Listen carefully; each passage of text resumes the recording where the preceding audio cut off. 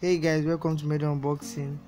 And in this video we are going to be looking at the infinix hot s4 this infinix hot s4 was launched last month that is april 2019 and this is a quick hands-on on the phone.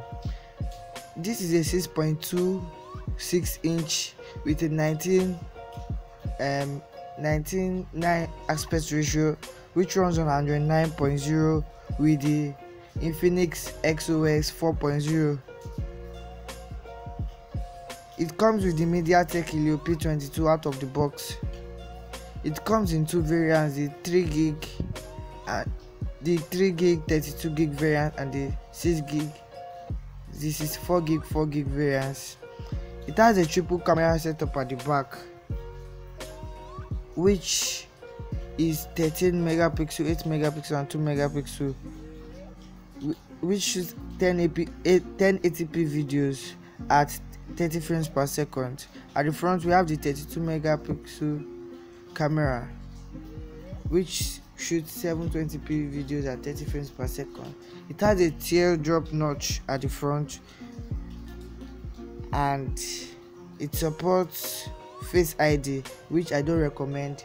And at the back we have the fingerprint sensor it has a dual sim setup at the left at the left hand side of the phone which also has the sd card slot at the bottom of the phone we have a 3.5 mm head jack a micro usb 2.0 the speaker and the microphone.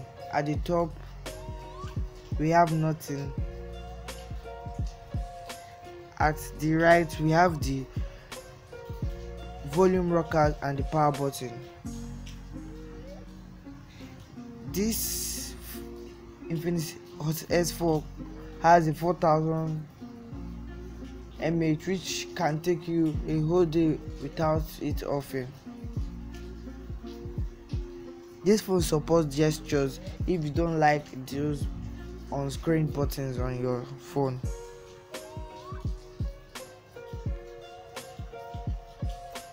it weighs 154 gram and